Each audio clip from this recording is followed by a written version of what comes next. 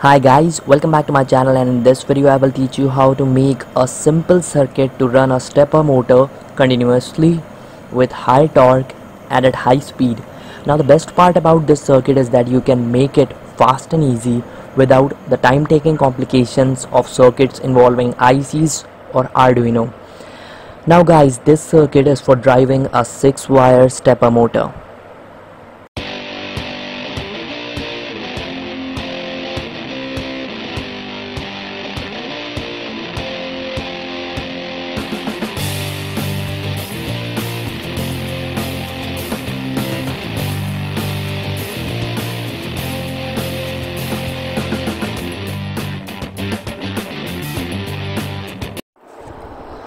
So guys, the components needed for this project are first, one piece of 6 wire stepper motor, second, three pieces of power transistors CTC1351 and third, three pieces of 1 kilo ohm resistors.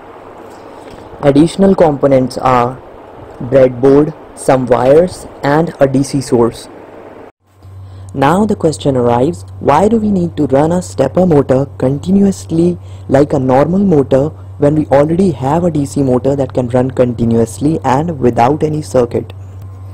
So my answer to that question is, first, the torque value of a normal DC motor is really less when compared to that of a stepper motor and that is because of the presence of large number of poles when compared to the family of DC motors.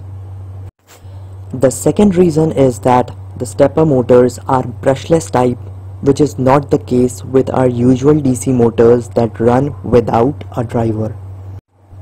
Hey, by the way, I can remember only two reasons. If anyone of you knows another besides these two, please share below in the comments.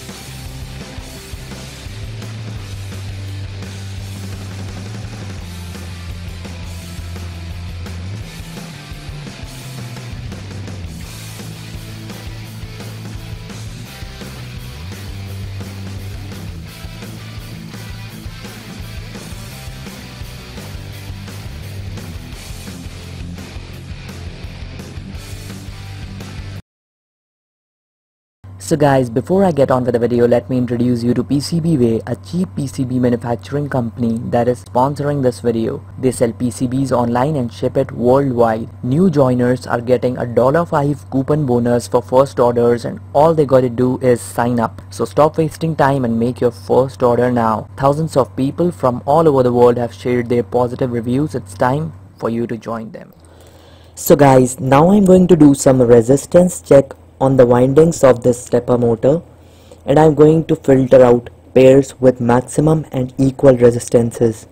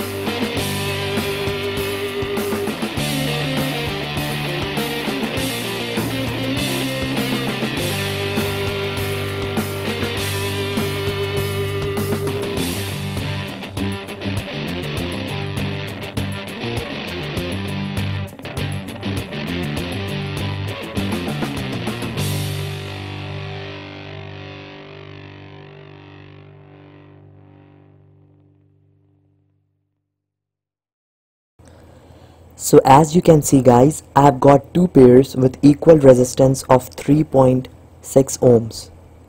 So these two pairs of wires will be connected to the circuit and the rest will be discarded.